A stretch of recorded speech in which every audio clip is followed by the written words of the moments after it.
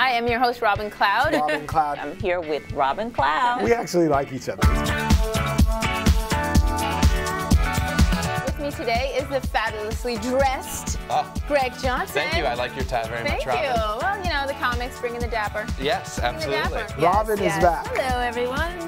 And she's looking Thank you. lovely today. Who wears just- salmon and a bow just tie was like, like, Robin? color. Let's do some color today. Friday the 13th. Yes. What could possibly go wrong? I'm so excited. $324 Million million dollars. richer. Yes. So we were talking about what would we do. You would pull one of those, like your phone doesn't work anymore. You just I would have my lawyer pick up the check.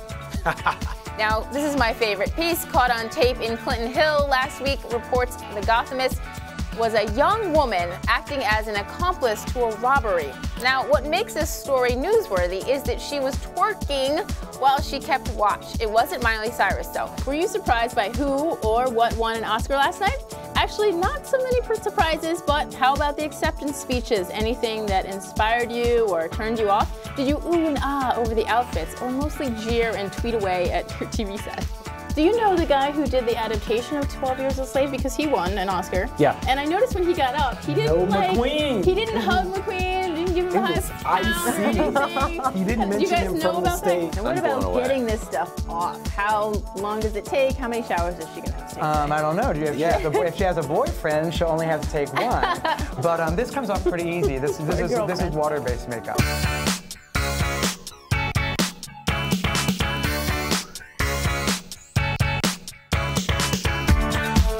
Mainstream media now, we have social media, we have Facebook, Instagram, Twitter. I mean, there's such strong influences on, on everyone, but specifically our girls. You know, I have a niece that's 10 and she, you know, she was watching Toddlers and Tiaras and then she was like, oh, I want to be, and I was like, whoa, no. so we like beat out Northampton, which is like the home of all out. lesbians. I spent many, many a high school night. Oops, sorry, mom. Yeah, never mind.